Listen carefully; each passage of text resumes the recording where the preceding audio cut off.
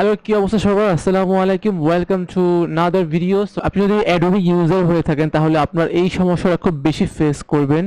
সেটা হচ্ছে cash file মানে আপনার সি ড্রাইভটা অনেকখানি ফুল হয়ে যাবে, একদম লাল হয়ে যাবে, কারণ আমরা যখন অ্যাডোবি প্রিমিয়ার প্রো কিংবা আফটার ইফেক্টসে কাজ করি, তখন প্রচুর ক্যাশ ফাইল জমে, যার কারণে আপনার সি ড্রাইভটা পুরোপুরি লাল হয়ে যায়।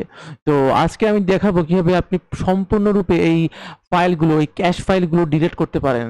তো স্টেপ বাই স্টেপ ফলো করুন সো লেটস গেট স্টার্টেড প্রথমেই শুরু করা যাক, প্রথমে আপনি সি ড্রাইভে যান, এরপরে হচ্ছে আপনার ইউজার্সে যাবেন, এরপর আপনি যে ইউজার আপনি সিলেক্ট করেন দেন এখানে অ্যাপ ডেটা যান। এরপরে আপনি প্রথমে যান রোমিংয়ে যাওয়ার পরে এখানে দেখুন যে অ্যাডোবি নামের একটা অপশন আছে, এখানে যান অ্যাডোবি এরপরে হচ্ছে একেবারে কমনে যান। এরপরে হচ্ছে মিডিয়া ক্যাশ তো এখানে ডাবল ক্লিক করেন।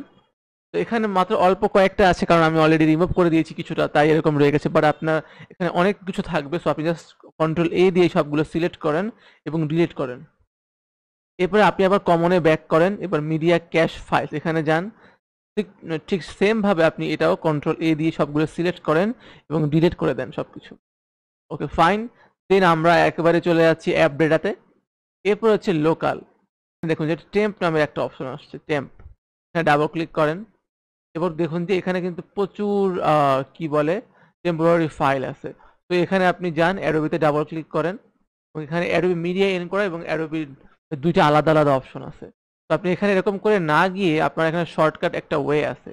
উইন্ডোজের রান অপশনে যান, যাওয়ার পর এখানে পার্সেন্টেজ টেম পার্সেন্টেজ এটা লেখেন, লেখার পর ওকে প্রেস করেন। ঠিক আছে? দেখবেন যে অটোমেটিক্যালি এই সেম জিনিসটাই আবার চলে আসবে। কন্ট্রোল এ দেন তারপর সবগুলো সিলেক্ট করেন দেন ডিলিট করে দেন। এখানে অলমোস্ট দেখুন যে আমার কত আছে? একশো চার জিবি ফাইল আছে এখানে এবং সেটা ডিলিট হয়ে যাচ্ছে। ওকে, সো মোটামুটি আমরা ক্লিয়ার এখানে, ঠিক আছে? এরপরে হচ্ছে আপনি আরও কিছু টেম্পোরারি ফাইল ডিলিট করতে চাইলে আপনি আবার রানে যান।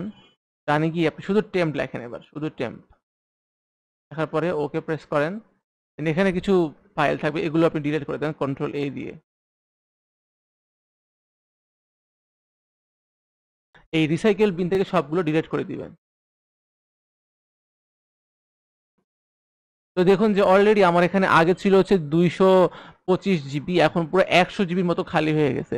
তো বুঝতেই পারছেন যে আমাদের ক্যাশ ফাইল মানে টেম্পোরারি ফাইলগুলো কতটুকু জায়গা দখল করে।